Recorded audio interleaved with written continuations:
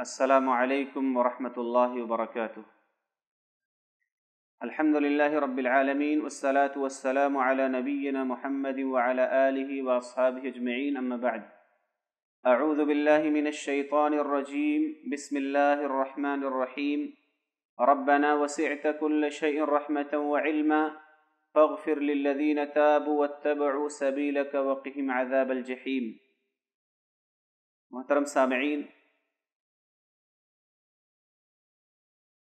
اللہ کی مخلوقات میں سے سب سے عظیم مخلوق اللہ رب العالمین کا عرش ہے۔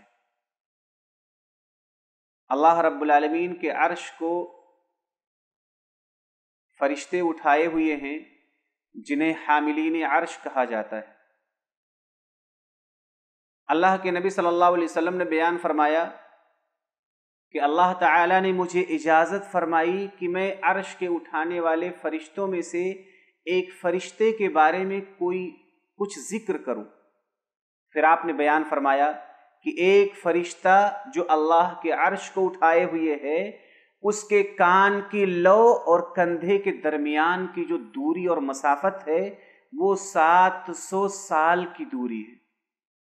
کان کی لو اور کندھے کے درمیان سات سو سال کی دوری ہے، یہ ایک فرشتے کے اس حجم کا آپ اندازہ لگائیے۔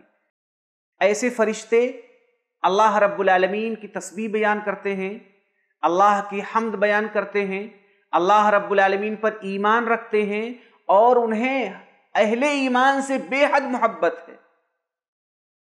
اللہ رب العالمین کے ان نیک بندوں کے لیے ان مومنین کے لیے جو اللہ کی زمین پر موجود ہیں، ان کے لیے اللہ کے عرش کو اٹھانے والے فرشتے دعا کر رہے ہیں۔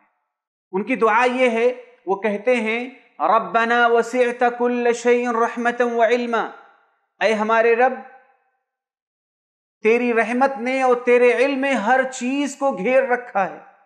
کوئی چیز تیری رحمت سے، تیرے علم سے باہر نہیں۔ فغفر بس اے اللہ، معاف کر دے۔ للذین تابوا واتبعوا سبیلک، ان مومنوں کو جو توبہ کرتے۔ واتبعوا سبیلک، اور جو تیرے راستے کی اتباع کرتے۔ وقہم عذاب الجحیم، اور انہیں جہنم کے عذاب سے بچا لے۔ یہ دعا عرش کے اٹھانے والے فرشتوں کی ہے۔ اس دعا کے اندر میں دو باتوں کی طرف آپ کی توجہ دلانا چاہتا ہوں۔ سب سے پہلی بات کہ یہ فرشتے اللہ رب العالمین کے دو بڑے ناموں کا وسیلہ کر کے اللہ سے دعا کرتے ہیں۔ کیا ہے؟ ربنا وسعت كل شيء علما، رحمتا وعلما اے اللہ، تیری رحمت نے ہر چیز کو گھیر رکھا ہے۔ کوئی چیز تیری رحمت کے دائرے سے باہر نہیں۔ دوسرا، اے اللہ، تیرا علم اس قدر وسیع ہے کہ تیرے علم سے باہر بھی کوئی چیز نہیں ہے۔ تجھے کائنات کے ہر ذرے کا علم ہے۔ ان دو بڑے ناموں کے ذریعہ وہ دعا کرتے ہیں۔ ہمارے لیے پیغام یہ ہے کہ ہم بھی اگر چاہتے کہ ہماری دعائیں قبول ہوں، تو ہم بھی اللہ رب العالمین کے جو اسماء حسنہ ہیں، جو مبارک نام ہیں، ان ناموں کے وسیلے سے، ان ناموں کے ذکر سے اپنی دعاؤں کا آغاز کریں۔ انشاءاللہ اللہ رب العالمین ہماری دعائیں بھی ضرور قبول فرمائے گا۔ دوسری بات کہ یہ فرشتے جن کے لیے دعا کر رہے ہیں، ان کی دو خوبیاں بیان کر رہے ہیں۔ کہ اے اللہ، تو مغفرت فرما دے، تو جہنم کے عذاب سے بچا لے، لیکن انہیں جن کے اندر دو خوبیاں موجود ہیں۔ پہلی خوبی، للذین تابو، جو لوگ توبہ کرتے توبہ کہتے ہیں، اپنی بری زندگی کو چھوڑ کر کے واپس نیکی کی زندگی پر آ جانا۔ شر اور معصیت کی زندگی کو چھوڑ کر کے نیکی اور خیر کی زندگی پر آ جانا۔ اے اللہ، جو لوگ توبہ کرتے ہیں، اپنی زبان کے ذریعہ بھی اور اپنے کردار اور اعمال کے ذریعہ بھی کہ وہ برائیوں کو چھوڑ کر کے خیر کی طرف واپس آتے رہتے ہیں، اے اللہ، تو انہیں معاف کر دے اور تو انہیں جہنم کے عذاب سے بچا لے۔ لہٰذا ہمیں توبہ کا اہتمام کرنا چاہیے۔ اسی لیے اللہ رب العالمین نے سارے مومنوں کو حکم دیا ہے کہ وہ توبہ کرے وَتُوبُوا إِلَى اللَّهِ جَمِيعًا أَيُّهَا الْمُؤْمِنُونَ لَعَلَّكُمْ تُفْلِحُونَ۔ کہ اے مومنو تم سب کے سب اللہ کے حضور توبہ کرو، استغفار کرو، معافی مانگو۔ کیوں؟ لعلکم تفلحون، تاکہ تم کامیاب ہو جاؤ۔ تو ان مقربین بارگاہ الہی کی دعا ان کے لیے ہے جو لوگ توبہ کو اپنا شعار اور شیوا بناتے اور دوسری اس خوبی و تبع سبیل کا جو تیرے راستے کی اتباع کر اللہ کا راستہ کیا ہے؟ اللہ کا راستہ دین اسلام ہے۔